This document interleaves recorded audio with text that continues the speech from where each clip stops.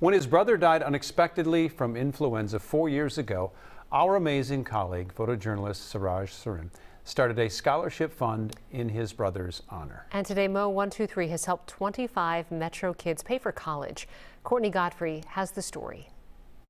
You Keaton? Yeah. How can I help? You Keaton Lawson? Yeah. I got a letter for you. I'm not Oh my god. Oh my god. Oh, oh my god. For the last several months, the Moe 123 Scholarship Fund has been spreading joy across the Northwest Metro, surprising high school seniors at their after school jobs to let them know they'll be footing some of the bill for college.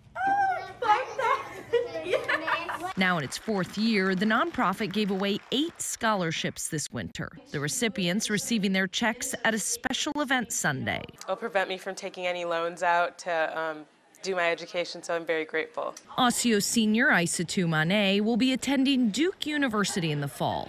And after losing her father to cancer in 2020, she feels a unique connection to the story behind the foundation. I was definitely touched when I heard the story of Moe and how he passed away um, and how dedicated he was to education. And I was kind of impressed because he was like kind of like me, like um, very studious and took his education seriously. The Sarim family started Moe 123 after Mostafa Sarim died unexpectedly from the flu in 2018.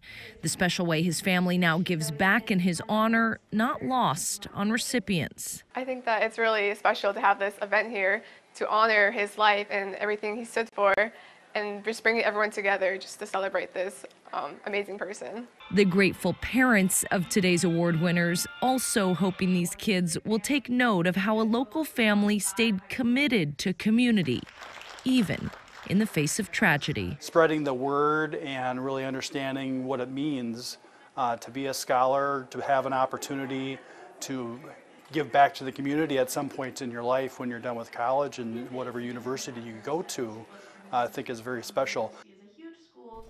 It is very special. The Sarim family, incredible. Yep. In the wake of all of this, they miss their brother dearly. I was able to cover the first one, and it's an incredible event. Yeah. And the proud parents, seeing them take the pictures, oh, it just gets you. So. It's good. It's, I mean, a lot of students are going to be benefited by this, so uh, he would be very proud. Moe would be. Absolutely. Yeah.